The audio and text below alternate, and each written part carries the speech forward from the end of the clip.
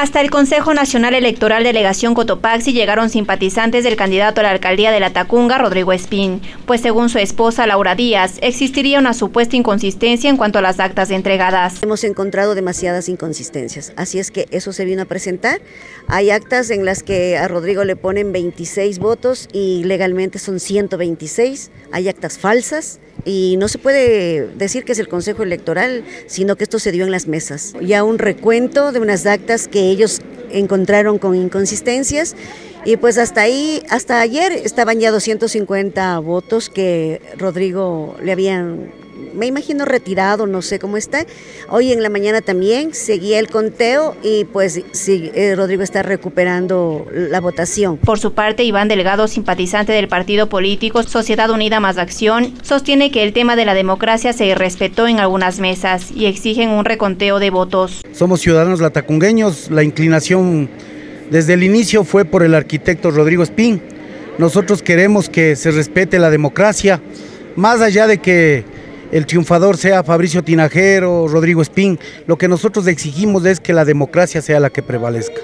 Y estamos exigiendo que se abran las urnas, que se respete la democracia, la, la voluntad de Dios es la voz de, del pueblo, ¿no? Entonces, en ese, en ese sentido, nosotros los mandantes queremos que se respete la, la, decisión popular. Rodrigo Espín, candidato a la alcaldía de La Tacunga por el partido Suma, asegura que estas supuestas inconsistencias se debe a que estudiantes universitarios fueron parte de estas anomalías. Más allá de, una, de un ánimo de decir que soy mal perdedor y que no aceptamos, yo creo que la democracia debe ser respetada. Estaré gustoso de aceptar cualquier resultado una vez que se cumpla todo el proceso porque se ha escaneado la, el 100%. El mismo Consejo Electoral desde el día de ayer está abriendo las, eh, urnas y se encuentra, miren, en las 10 primeras que abren yo tengo 250 votos más. Hoy han abierto 3, 4, ya tengo más de 100, 150 votos. Todavía no aperturan las 21 eh, urnas. ¿Cuántas universidades tenemos aquí? Dos, de las cuales en la ESPE fueron tomados en cuenta un 10%. El 90% eran de la Universidad eh, Técnica de Cotopaxi. Mil alumnos. Por eso son las anomalías.